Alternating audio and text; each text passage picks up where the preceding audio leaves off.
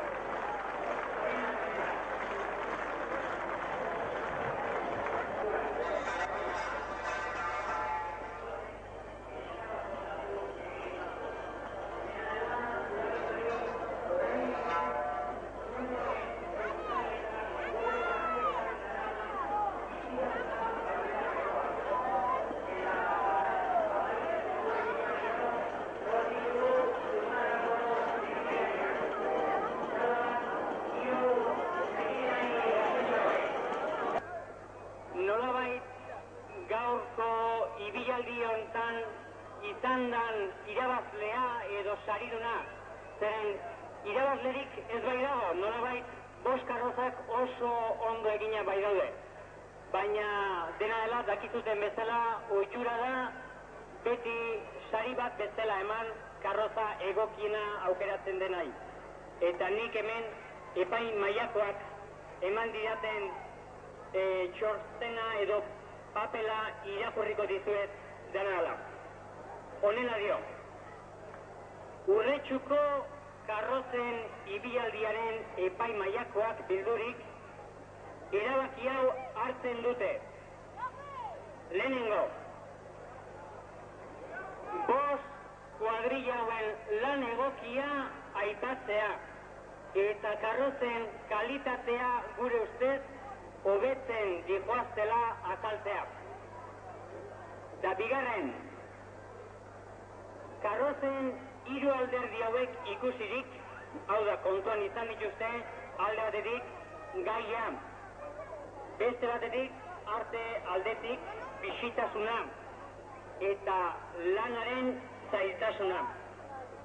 Dela, euskera gure zuaiz lehorra deritzen karrozari sari emateara dira.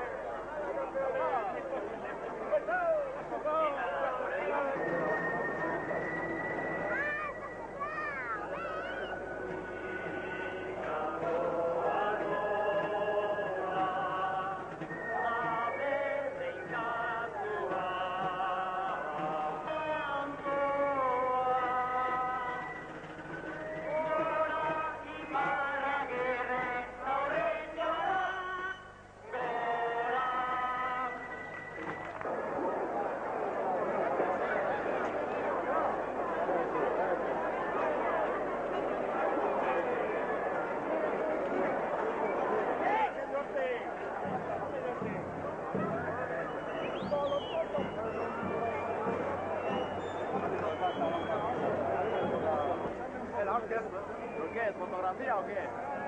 ¿Cine? ¿Estamos saliendo?